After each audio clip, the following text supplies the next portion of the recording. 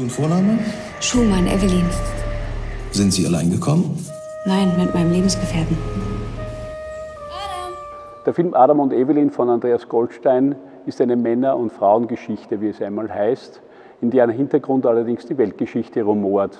Denn das, worum es tatsächlich geht, ist die Wende. Der Wunsch, die DDR zu verlassen, besteht seit wann? Schon immer. Ich wollte weg.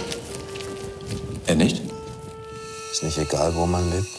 Ein Film, den ich wirklich in höchsten Tönen, würde ich fast sagen, empfehlen möchte. Das Kinojahr beginnt in Deutschland mit einem Höhepunkt. Kannst du mich mitnehmen? Ich habe aber kein Visum. Er hat sie unterwegs aufgegabelt und rübergeschleust.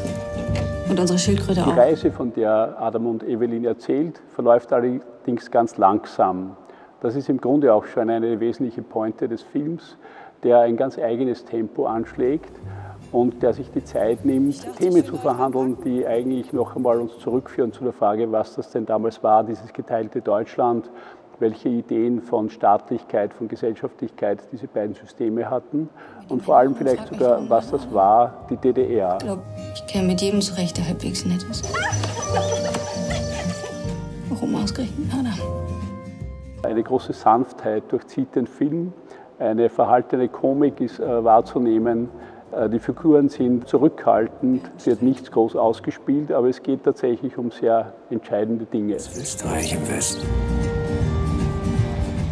Du stellst Fragen. Sie fahren wohin? Zum Balaton. Urlaub.